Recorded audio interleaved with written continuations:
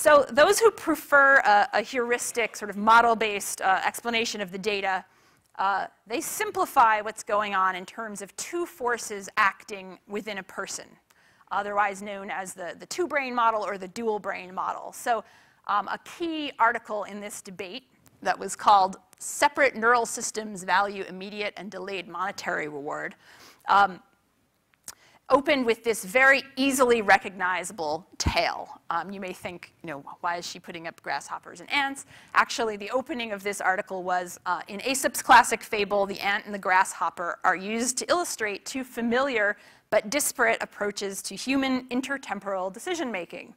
You never knew that's what the fable was about, but there you have it. Um, the grasshopper luxuriates during a warm summer day, inattentive to the future. The ant, in contrast, stores food for the upcoming winter. Human decision makers seem to be torn between an impulse to act like the indulgent grasshopper and an awareness that the patient ant often gets ahead in the long run.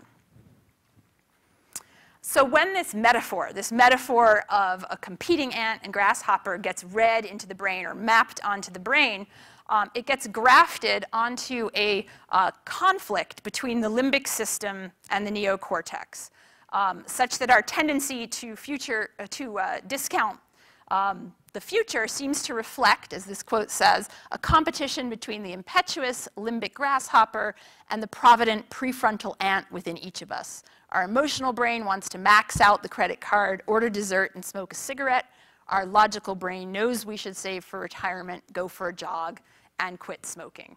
Um, so the emotional brain is understood. Um, again, this is very simplistic, but uh, um, on the, the, left column as being older, more affective, emotional, automatic, impulsive, myopic, um, where the, the, the cortical um, brain is newer, analytical, uh, logic, logical, conscious, deliberative, and future-oriented. Again, this is a simplistic, but it, will do for our um, purposes of getting at this debate.